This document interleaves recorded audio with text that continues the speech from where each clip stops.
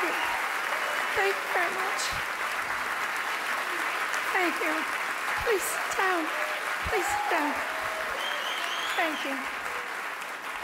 I, I love you all, but you'll have to forgive me.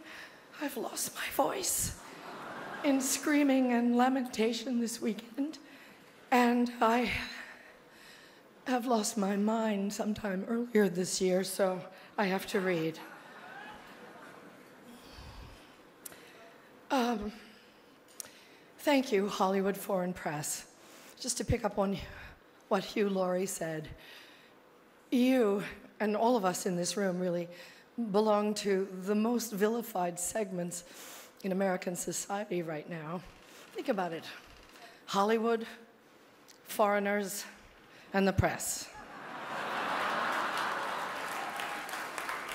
but who are we? And, and, you know, what is Hollywood anyway? It's just a bunch of people from other places. I was born and raised and educated in the public schools of New Jersey. Viola was born in a sharecropper's cabin in South Carolina, came up in Central Falls, Rhode Island. Sarah Paulson was born in Florida, raised by a single mom in Brooklyn. Sarah Jessica Parker was one of seven or eight kids from Ohio. Amy Adams was born in Vicenza, Veneto, Italy.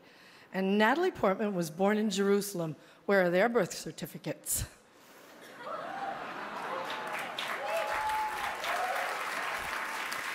and the beautiful Ruth Negga was born in Addis Ababa, Ethiopia, raised in London, in, no, in Ireland, I do believe. And she's here nominated for playing a small town girl from Virginia.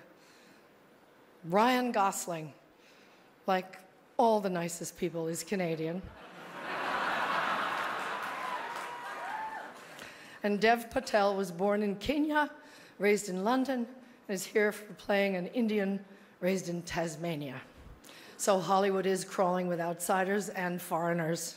And if we kick them all out, you'll have nothing to watch but football and mixed martial arts, which are not the arts.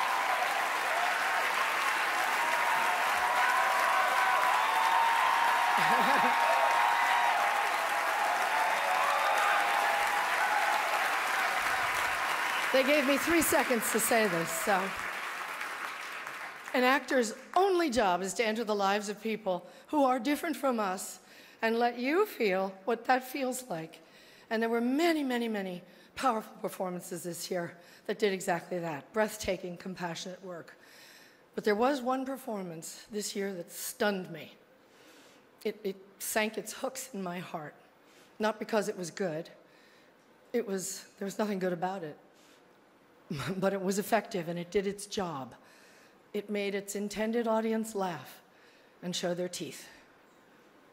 It was that moment when the person asking to sit in the most respected seat in our country imitated a disabled reporter, someone he outranked in privilege, power, and the capacity to fight back. It, it kind of broke my heart when I saw it, and I still can't get it out of my head because it wasn't in a movie, it was real life. And this instinct to humiliate, when it's modeled by someone in the public platform, by someone powerful, it filters down into everybody's life because it kind of gives permission for other people to do the same thing. Disrespect invites disrespect, violence incites violence. When the powerful use their position to bully others, we all lose.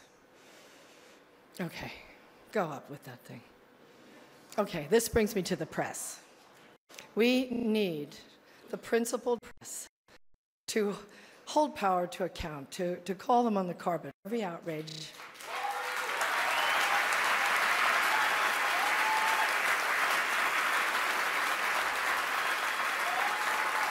That's why, that's why our founders enshrined the press and its freedoms in our Constitution. So I only ask the famously well-heeled Hollywood foreign press and all of us in our community to join me in supporting the Committee to Protect Journalists, because we're going to need them going forward, and they'll need us to safeguard the truth. One more thing.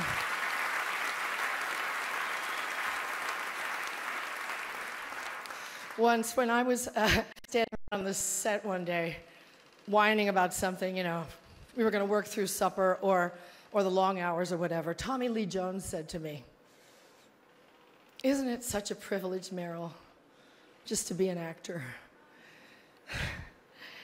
yeah, it is. And we have to remind each other of the privilege and the responsibility of the act of empathy we should all be very proud of the work Hollywood honors here tonight.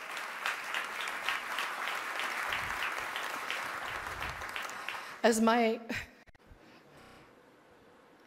as my friend, the dear departed Princess Leia said to me once, take your broken heart, make it into art. Thank you for